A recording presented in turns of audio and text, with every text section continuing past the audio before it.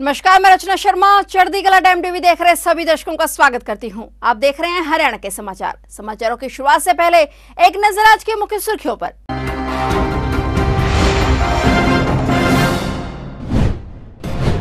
मणिपुर से छात्रों को सकुशल वापस लाने के लिए हरियाणा सरकार ने किए पुख्ता इंतज़ाम। 16 छात्रों की होगी आज घर वापसी। मुख्यमंत्री मनोहर लाल मणिपुर की हर स्थिति का खुद ले रहे जायजा।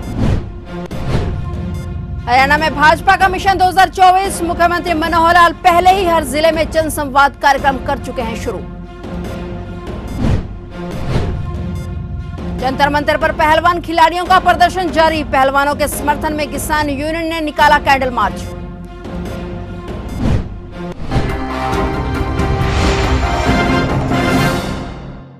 और अब समाचार विस्तार से। हरियाणा में अगले साल होने वाले लोकसभा और विधानसभा चुनाव की तैयारियों के मद्देनजर राज्य के सभी भाजपा सांसद लगातार एक महीने तक जनता के बीच रहने वाले हैं। सांसदों के साथ साथ हरियाणा भाजपा के प्रभारी विप्लव कुमार देव और पार्टी के प्रदेश अध्यक्ष ओम प्रकाश धनखड़ भी पूरी तैयारी के साथ फ़ील्ड में उतरेंगे। मुख्यमंत्री मनोहर लाल पहले ही हर ज़िले में जनसंवाद कार्यक्रम आरंभ कर चुके हैं। भिवानी, पलवल और कुरुक्षेत्र के बाद अब मुख्यमंत्री का अलग जनसंवाद कार्यक्रम सिरसा ज़िले में होगा। भाजपा के सभी 10 लोकसभा सदस्य और चार राज्यसभा सदस्य 15 मई से 15 जून तक अपने अपने संसदीय क्षेत्रों के प्रवास पर रहेंगे। सभी सांसदों को अपने अपने कार्यक्रम तैयार करने के निर्देश दिए जा चुके हैं। इस दौरान केंद्र व राज्य सरकार की योजनाओं के लाभार्थी सम्मेलन, प्रबुद्ध सम्मेलन युवा व महिला सम्मेलन और जनसंपर्क कार्यक्रम आयोजित किए जाएँगे, ताकि मिशन 2024 के लक्ष्य को पूरा करने में पार्टी को किसी तरह की परेशानी का सामना न करना पड़े। हरियाणा सरकार द्वारा मणिपुर के हिंसाग्रस्त क्षेत्र में पढ़ाई करने गए प्रदेश के छात्रों को वापस लाने के लिए पुख्ता इंतज़ाम कर लिए गए हैं। मुख्यमंत्री मनोहर लाल मणिपुर की हर स्थिति का अपडेट ले रहे हैं। उन्होंने अधिकारियों को स्पष्ट निर्देश दिए कि छात्रों को जल्द से जल्द लाने के लिए पूरी व्यवस्था करें। सरकार ने छात्रों की सूची तैयार कर ली है और अब तक प्राप्त सूचना के आधार पर 16 छात्र मणिपुर में विभिन्न संस्थानों में शिक्षा ग्रहण कर रहे हैं, जिनकी इच्छा अनुसार उन्हें वापस लाया जाएगा। मणिपुर के हिंसाग्रस्त क्षेत्र से हरियाणा के छात्रों को सकुशल वापस लाने के लिए हरियाणा सरकार लगातार छात्रों के संपर्क में है। उन्होंने वापस लाने की प्रक्रिया शुरू हो चुकी है। आज देर रात तक मणिपुर में रह रहे हरियाणवी छात्र वापस लौटेंगे। मणिपुर से कोलकाता की कनेक्टिंग फ़्लाइट के ज़रिए पहला बैच आज दिल्ली पहुंचेगा। अब तक मणिपुर में हरियाणा के 16 छात्र होने की सूचना है। करनाल पहुँचे इनेलो सुप्रीमो ओम प्रकाश चौटाला ने बीजेपी पर जमकर निशाना साधा। दिल्ली के जंतर मंतर पर धरने पर बैठे खिलाड़ियों के सवाल पर इनेलो सुप्रीमो ओम प्रकाश चौटाला ने कहा कि इस देश में अगर खिलाड़ियों को मान सम्मान मिला है तो वह सिर्फ़ इनेलो सरकार में ही मिला है। मुख्यमंत्री रहते हुए उन्होंने ऐलान किया था कि अगर कोई खिलाड़ी विश्व स्तर पर देश का नाम चमकाता है और ओलंपिक खेलों में गोल्ड मेडल जीत कर लाता है तो उसे एक करोड़ सिल्वर मेडलिस्ट को 50 लाख और कांस्य पदक विजेता को 25 लाख रुपए दिए जाएँगे। हरियाणा प्रदेश की एक महिला ने कांस्य पदक जीता था और नेलो सरकार ने 25 लाख रुपए दिए थे। इससे बच्चों में हौसला बढ़ा और हरियाणा के बच्चों ने मेडल हासिल करने के लिए प्रयास किए, जिसका परिणाम यह हुआ कि अगर कहीं पर अंतर्राष्ट्रीय गेम होते हैं तो मेडल जीतने वालों में हरियाणा के खिलाड़ियों की संख्या ज़्यादा होती है। इस दौरान चौटाला ने अन्य कई मुद्दों पर सरकार को घेरने की कोशिश की। इस देश में अगर खिलाड़ियों को कोई सम्मान दिया है किसी ने तो वो हमारी पार्टी ने दिया है। आपको ध्यान होगा कि हरियाणा में जब हमारी सरकार बनी थी, मैं बतौर मुख्यमंत्री किसी एक ज़िले में राष्ट्रीय ध्वज फहरा रहा था। मेरे सामने पढ़ने वाले बच्चे परेड कर रहे थे।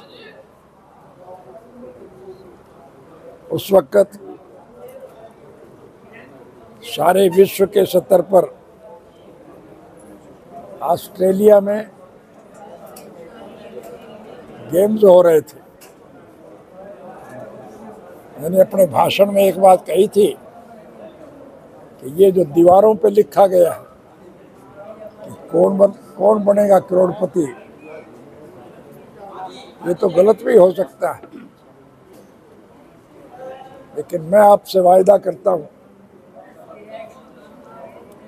कि हरियाणा का कोई खिलाड़ी अगर गोल्ड मेडल जीत, गोल्ड मेडल जीत के आएगा तो हमसे एक करोड़ रुपया नकद देंगे।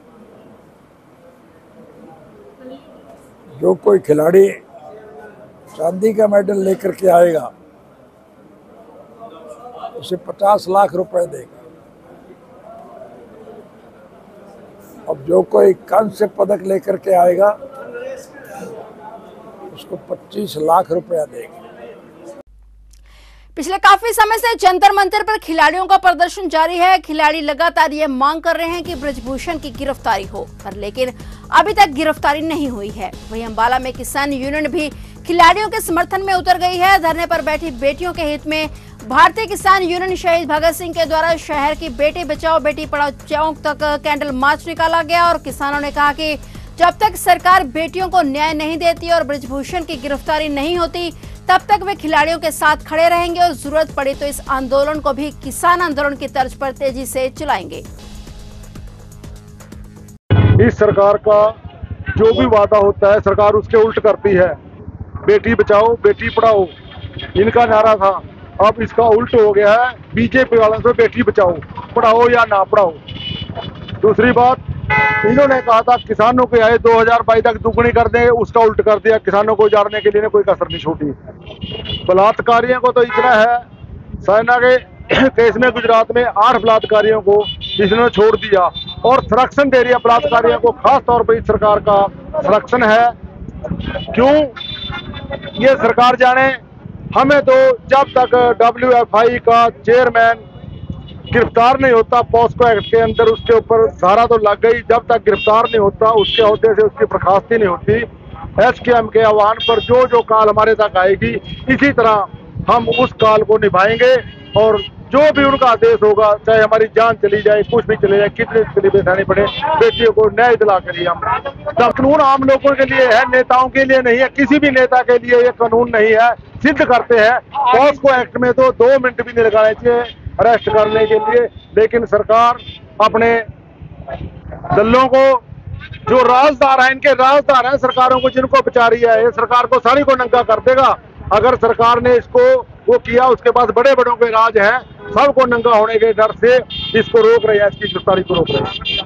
घोरना शहर की धर्मवीर कॉलोनी से बीएससी सेकेंड ईयर के छात्र का अपहरण के बाद हत्या कर दी गई। छात्र का शव मलिकपुर रोड पर सड़क के किनारे बरामद हुआ है। पुलिस ने शव को अपने कब्जे में लेकर पोस्टमार्टम के लिए मोर्ची हाउस में रखवा दिया था। पोस्टमार्टम के बाद शव परिजनों को सौंप दिया गया। पुलिस ने आरोपियों के खिलाफ विभिन्न धाराओं में मामला दर्ज कर जाँच शुरू कर दी है। जानकारी के मुताबिक धर्मवीर कॉलोनी में रहने वाला रंजन अपने दोस्त को वीर राइस मिल कॉलोनी में छोड़ने के लिए गया था। छात्र वहाँ से घर लौट रहा था और रास्ते में छात्र का कुछ युवकों ने अपहरण कर लिया। परिजनों ने अपहरण की सूचना पुलिस को दी, जिसके बाद पुलिस ने छानबीन शुरू कर दी। करीब एक घंटे बाद छात्र का शव मलिकपुर रोड पर सड़क किनारे पर मिला। पौने नौ बजे सूचना मिली कंट्रोल रूम से कि एक लड़के का रेलवे रोड पर अपहरण कर लिया। इस सूचना पर हमने उसकी तलाश की तो पता लगा कि भी यहाँ इसकी डेड बॉडी यहाँ मिली करोंडा से मलिकपुर रोड पर। कौन है मरने वाला? मरने वाला यहीं अपना गरोंडे का ही लड़का है तो ये अपने यूपी साइड से और गरोंडा सी सेकेंड ईयर में पढ़ता। तो अभी प्राथमिक दृष्टि से क्या हुआ किस तरह से हत्या हुई है?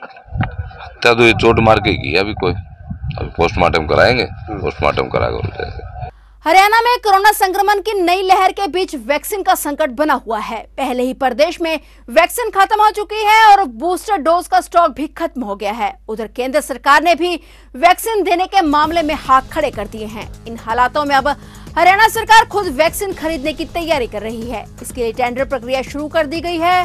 प्रदेश में वैक्सीनेशन की बात करें तो पहली डोज 100 प्रतिशत लोग ले चुके हैं, सेकेंड डोज अठासी प्रतिशत लोगों ने ली है और बूस्टर डोज को लेकर हालात पहले से ही खराब हैं। अब तक प्रदेश में मात्र 20 लाख तेरह हज़ार लोगों ने ही बूस्टर डोज ली है। हरियाणा में अच्छी बात यह है कि 15 दिनों में ही संक्रमण दे तेरह प्रतिशत से गिरकर एक दशमलव चौबीस प्रतिशत पर आ गई है। वहीं अगर बात करें, प्रदेश में आ रहे कोरोना केसों की तो हरियाणा में 24 घंटे में छियासठ नए केस मिले हैं। वहीं राज्य में कुल एक्टिव मरीजों की संख्या एक हो गई है। सबसे अधिक मामले गुरुग्राम में उनतालीस फरीदाबाद में सात और इसके अलावा करनाल, पंचकुला, सिरसा में तीन तीन, अंबाला चार, कैथल में दो और पानीपत में एक नया मरीज़ मिला है, जबकि तेरह जिलों में कोरोना का कोई नया केस नहीं मिला है।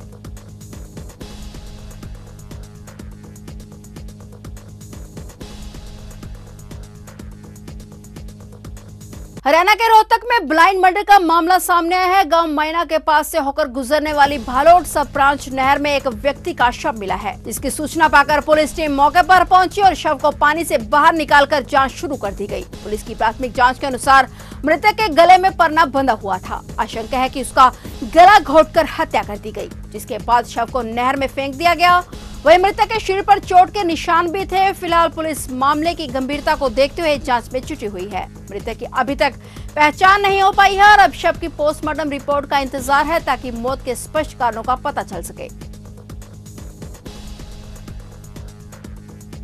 अंबाला जिला में ऑस्ट्रेलिया भेजने के नाम पर आरोपियों ने की पाँच लाख रुपए की ठगी। इतना ही नहीं, पीड़ित के पैसे मांगने पर आरोपियों ने मामले में पल्ला झाड़ते हुए उसे जान से मारने की भी धमकी दी। हालाँकि प्रदेश में कबूतरबाजी को लेकर सरकार सख्ती बरत रही है। गृह मंत्री अनिल विज ने पिछले दिनों एक टीम गठित कर कबूतरबाजों पर सख्त कार्रवाई के निर्देश दिए थे। इसके बावजूद इस तरह के मामले रुकने का नाम नहीं ले रहे। ऐसा ही एक मामला अंबाला ज़िले से आया, जहाँ ऑस्ट्रेलिया भेजने के नाम पर पाँच लाख रुपए आरोपियों ने ठग लिए। फ़िलहाल पुलिस ने इसकी शिकायत मिलने पर मामले की जाँच शुरू कर दी है।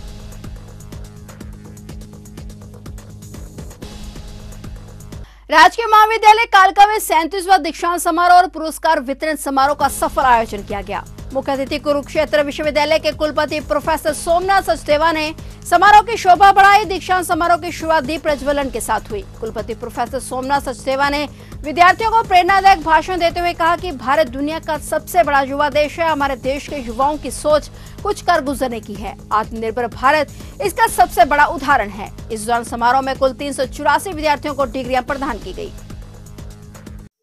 तो अपने आप में यहाँ से डिग्री लेना अपने आप में यहाँ से एक उपाधि लेकर जाना, ये बहुत गौरव और सम्मान की बात है। मेरे लिए भी बहुत खुशी की बात है कि मुझे आज यहाँ पर इस समारोह में सम्मिलित होने का मौका मिला है और मुझे बताया गया कि आज लगभग 500 के करीब छात्रों को यहाँ पर उपाधि दी जा रही है, जिसमें से लगभग 100 के करीब इसमें पोस्ट ग्रेजुएशन के विद्यार्थी और 400 के करीब इसमें से जो अंडर ग्रेजुएट कोर्सेज हैं, उसके विद्यार्थी हैं। कालका में बुलेट से पटाखे बजाने वालों पर शिकंजा कसना लगातार जारी है। कालका एसएचओ हरिराम ने स्पेशल अभियान चलाकर बुलेट से पटाखे बजाने वालों के यामा मोटरसाइकिल के कालका बाज़ार में चालान काटे। उन्होंने बताया कि जो बुलेट का साइलेंसर चेंज करवाकर पटाखे बजाते हैं, उनका चालान काटा जाएगा। अपना कार्यभार संभालते ही एसएचओ हरिराम ने बुलेट से पटाखे बजाने वाले चालकों को चेतावनी दी थी कि किसी कीमत पर उन्हें बख्शा नहीं जाएगा। उन्होंने बताया कि आगे भी यह कार्रवाई जारी रहेगी।